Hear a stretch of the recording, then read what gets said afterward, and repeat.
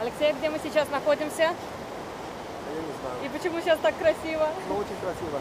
Просто очень красиво. Мы в городе Хуанчако, на побережье Тихого океана. Это реально океан. Мы в Перу, мы в Лиме, и это мост в никуда. Слушайте, я никогда не была на океане. Вы просто посмотрите, какие здесь волны. Они огромные, они реально огромные.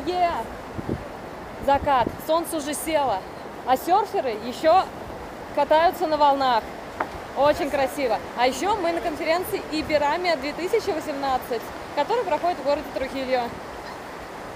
И вот вся наша конференция там спереди, сзади идут. В любом случае, вот нас много.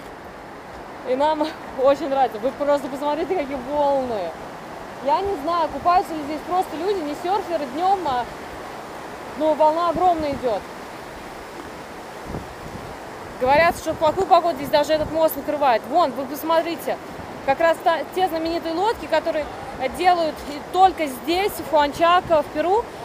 Вон, а, человек катается именно на такой лодке, сделанной из э, тонкого тростника. Вот, смотрите, сейчас идет огромная волна, смотрите, как его сейчас поднимет. Эх, волна ушла.